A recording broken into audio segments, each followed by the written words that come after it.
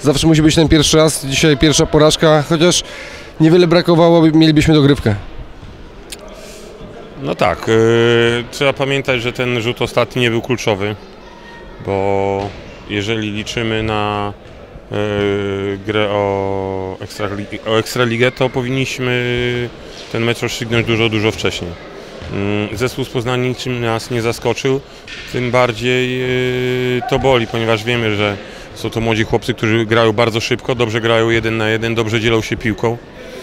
Wsiadło im parę rzutów y, trudnych, łatwych y, i, zrobili y, dosyć dużą przewagę, którą cały mecz goniliśmy. Z lepszym, z, gorszy, z gorszym skutkiem y, i no, niestety nie udało nam się wygrać. No, jest to, mamy dobry materiał do, y, do przemyśleń i na pewno teraz usiądę do wideo, obejrzę jak to by wyglądało i gdzie były nasze najsłabsze strony. Yy, jeszcze tylko wracając do ostatniej akcji, ta, no wiadomo, że to był troszeczkę szczęśliwy rzut, bo Łukasz Wilczek też nie, nie mógł do końca podejść, bo mógł, być wtedy odgwizdany yy, rzut wolny tak, i, trzy, i trzy osobiste. Tak, tak, to, tak to miało wyglądać, czy już po prostu każdy swego? Czy mieliśmy, mieliśmy faulować? To jest, była Nie, w ostatniej akcji jak była ta minuta 4, znaczy sekunda i 4 dziesiąte. Mieliśmy faulować, natomiast mieliśmy faulować nie przy rzucie. Łukasz nie zdążył tego zrobić. Yy, Tak dokładnie to też nie jestem w stanie określić jak to było, bo yy, no co, no, rzucił, wypchnął z kabury z 10 metra, piłka wpadła od tablicy. Cóż, zdarzyło się, nie? Dzisiaj nie siedziała wam trójka i to, to, to też był, w- wydaje się, wasz problem, że jak nie siedzi trójka, to już gorzej, gorzej z, innymi, z inną formą ataku. Ale nam nie tylko trójka nie siedziała, nam się wyla, wylało nam się chyba z 10 rzutów spod dziury, trójka e, również. Mm, To nie był nasz dzień, jeżeli chodzi o rzut na pewno. Y, Cóż, no, spod dziury nie trafialiśmy, z pół dystansu nie trafialiśmy, z, y, za trzy piłka nam wypadała nieszczęśliwie i mm, cóż, no, po prostu nie mogliśmy trafić. Próbowaliśmy mm, zawalczyć w obronie w pewnym momencie, widać, widocznie to było za mało.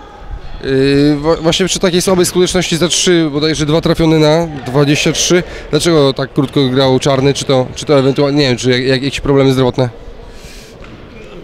Trudno jest mi teraz tam określić, że może y, k- kto lepiej y, by, by się by wszedł w mecz. No. Adam Parzyk y, miał takie mecze, w których nie trafiał, nie trafiał 6 6-7 rzutów, po czym y, trafiał cztery kolejne rzędowe wręcz. Y, Kukła tak samo nie trafiał, w pewnym momencie zaczął y, trafiać. Byli w grze i może to było lepsze rozwiązanie z y, Andrzejem na, na boisku, no ale tak zadecydowaliśmy.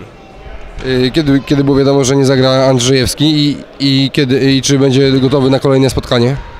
No to, że Richie nie zagrał, już wiedzieliśmy w zasadzie od razu, on się naciągnął.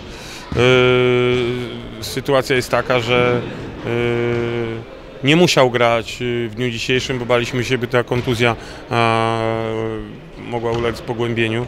Natomiast no, jakby trzeba byłoby, to by grał. Natomiast no, nie było takiej potrzeby, jak widać go trochę zabrakło. Yy, Kolejne spotkanie za dwa tygodnie w Siedlcach. Jak spędzicie ten czas treningowo, bo wiadomo, że będą święta, czy jakieś sparingi, czy tylko gierki wewnętrzne i oczywiście mocne trenowanie?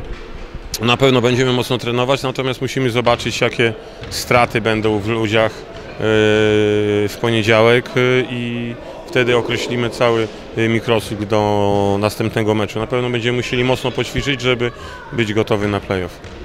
Czy na playoffy będzie gotowy Czarek Trybański? Bo wy- wygląda na to, że Marcel Wilczek strasznie szybko łapie te faule. Dzisiaj kolejny raz w, został wygwizdany bardzo szybko. Grał z czterema, później zleciał i, i właśnie brakuje tego podkoszowego później. Na pewno brakuje, zwłaszcza, że graliśmy we trzech wysokich. W pewnym momencie próbowaliśmy grać z Mateuszem jako wysokim, natomiast to było kupione bodajże minus sześcioma punktami.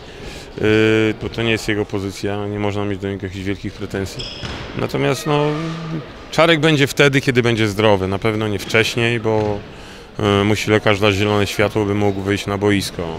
Ręka, jak mu się zrośnie, to na pewno będzie yy, grał. I wiem, że Czarek jest gotowy, bo jest cały czas treningu, cały czas y, biega, to nie, on nie leży i nie, nie traci jakiejś y, formy fizycznej, natomiast y, przy jego kontuzji nie da się nic przyspieszyć.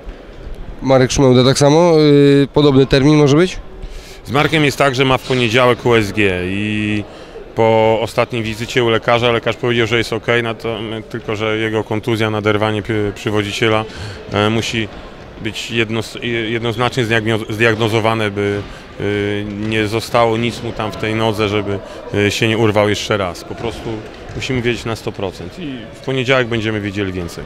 Jeszcze na koniec pytanie, wracając do tej sytuacji, gdzie sędziowie odgwizdali ponoć przewidzenie tak, techniczne dla ławki za, wie już trener za co, bo wiedziałem, że się dopytywał, a sędziowie chyba nic nie odpowiadali. No chciałem się dowiedzieć, natomiast sędzia e, taki w meczu, jak i po meczu nie był w stanie mi odpowiedzieć, za co dał mi technicznego. Po prostu rozmawiałem z drugim sędzią.